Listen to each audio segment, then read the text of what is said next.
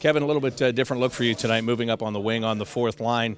Uh, you played that position before, but it's been a long time ago. Will you change, or what do you change about your game moving from the blue line to the forward line?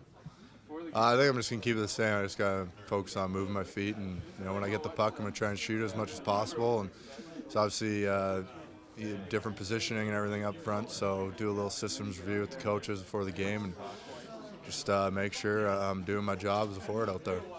Now, we've seen you shoot the puck a lot from the blue line and shoot it with great success, um, but might not have to crank it up as much tonight, huh? You'll be a little bit closer to that net, hopefully.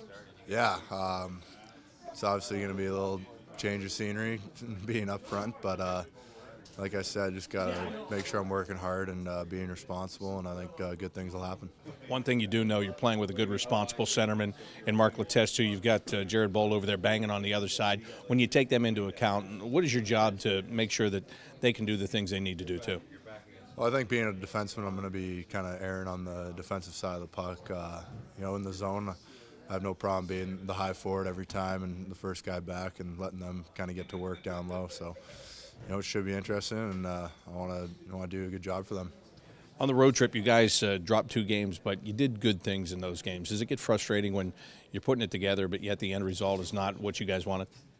Yeah, I think it, it's frustrating when you're when you're leaving games. You know, trying to look at the positives, but you're still not getting the result. Um, I mean, we want to win in here, and you know that's that's all we're focused on. And you can you can look at the silver lining and take away all the all the smart things you did from the game and all the nice plays and all the scoring chances you almost had.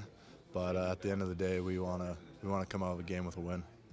This Arizona team, they're coming off a big win where they came from behind in Montreal. They're also finishing off a road trip, so I'm sure they're going to be talking about getting that last win on the road before they head home. Do you expect them to be a pretty desperate team tonight?